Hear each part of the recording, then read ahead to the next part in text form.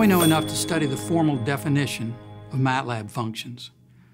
A function's interface with the world is defined in a header at the beginning, and that header is called the function declaration. The declaration starts with the function keyword, and to remind you that it's a keyword, MATLAB highlights it for you in blue. Then come the output arguments, if you have any. If you have more than one, the square brackets are required, otherwise they can be omitted.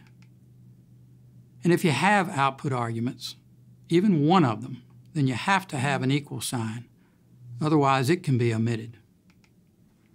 Next comes the function name. And the same rules apply for function names as for variable names. Then come the input arguments, if any. If you don't have any input arguments, then parentheses are optional. Otherwise, a comma-separated list of input argument names goes between parentheses. Okay, that's the formal description of the function declaration. But let's see some examples. You can have 0, 1, or multiple output arguments, and 0, 1, or multiple input arguments. And you can have them in any combination.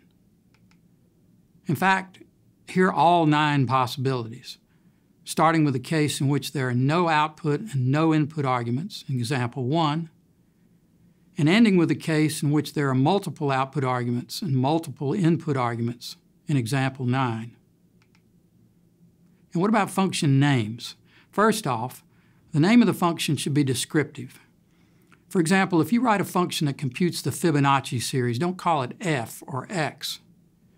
Instead, call it Fibonacci or Fibo or something that suggests its purpose. And stay away from the names of built-in functions because that can get very confusing very fast. If you see a function called sqrt, for example, you're going to expect it to return the square root of its argument.